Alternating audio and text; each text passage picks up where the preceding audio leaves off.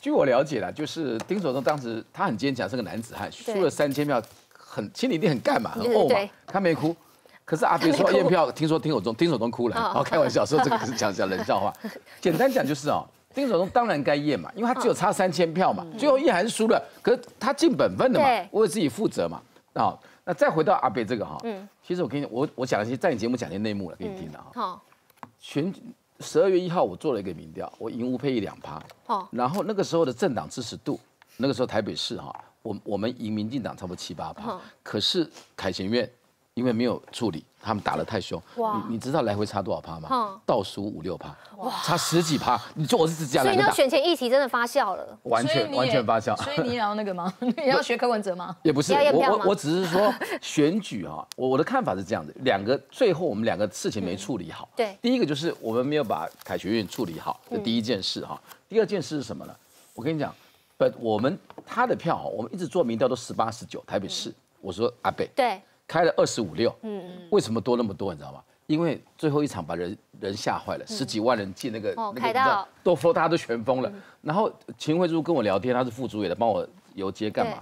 你知道投票前一天，台北市的国民党的政党支持度跟民进党比输二，最后打最后勉强拉平，最后平手三十八比三十八。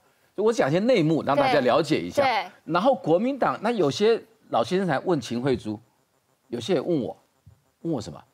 我们要投柯文哲，人太多了，人太多了。嗯，哎，今天照理，因为蓝白是流动的，然后蓝绿是没有流动的，绿白也没有任何关系，大家这是基本的常识。所以最后人太多，吓坏一些人。当然，我们国黄绿锦龙啊什么也很用力，把传统力量什么都吹下去，可最多只能打平手。对，这个局怎么样也赢白十趴吧。我们讲传统实力，蓝白就简单的整个操作，整个选举的节奏跟最后那一刻。台北市影响最多，你知道为什么吗？我认为台北市它不会超过二十，为什么开了二十五？为什么多了五？就是十几万人在警魂版把人家吓坏了嘛，透过荧光幕这样这样这样放送，好，所以当然反反正。可是阿北说他被气饱哎。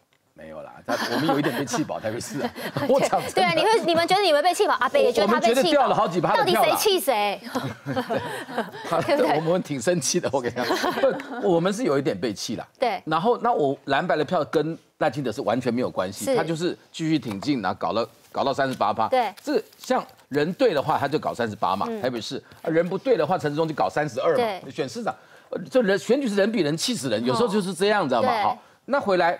所以我认为啊，我我要帮选务人员讲个话，二十四万选务人员，他们是冒着他们出纰漏是判刑法，人家选罢法都很重哎，你知道谁敢去作弊？我认为不敢呐，啊，所以我觉得黄珊珊应该对选务人员有个基本的道歉，嗯。嗯，因为我我是蓝吧，他是白，我们面对的敌人都是绿，可是我愿意在你节目上讲一些公道话，他有我觉得打死他，没有我们我们不可以污蔑人家，是二十四万选务工作人员，因为以后没有人要做做选监人员了。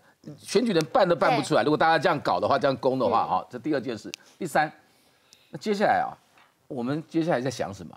你看到你们有没有看到南投跑出来那些话？嗯，小草。对。我我们国民党怕什么？你们知道吗？嗯。我们怕是推小草，我们国民党的里长会掉多少？哦。你们有没有想过啊？哦。还不是丢丢一百个小草，都俊男美女出来搞，那我们就倒大霉了。这是我们怕的地方，知道吗对。我们现在，我觉得我们现在冷静，输了是输了，可是我们要防范。这个这个福无双至，祸不单行呐。是，我们要防范白怎么大，我们让它小，怎么帮助卢秀燕选总统？不，我们也要，我们党也要一套机制。因为绿的票就是四十，很清楚。你们两，你们两个党分六十，那我们要我们要四十一啊？怎么弄啊？让阿北变十九，这是我们在想的事情啊。小平，因为你刚刚其实也讲了这个大白话啦，你觉得说在选前的这个凯旋院等议题，通通都有影响。可是现在林涛说，从头到尾会输，就是因为一个黄珊珊。好，我再讲个内幕给你听，好不好？来。有三种可能性，两种会谈成哈。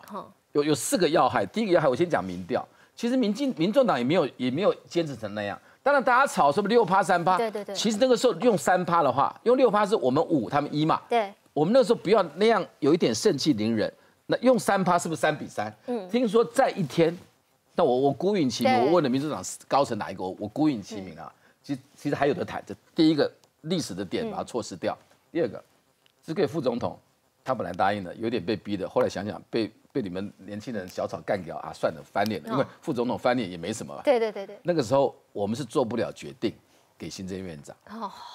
给了行政院长早就蓝白和赖清德也落选了啦。我跟你讲，这这都是，所以我们骂黄珊珊，最后鼓吹，那都下游的工作。对，我讲的是上游的工作。我先讲了，我觉得上游工作谈完再谈下游。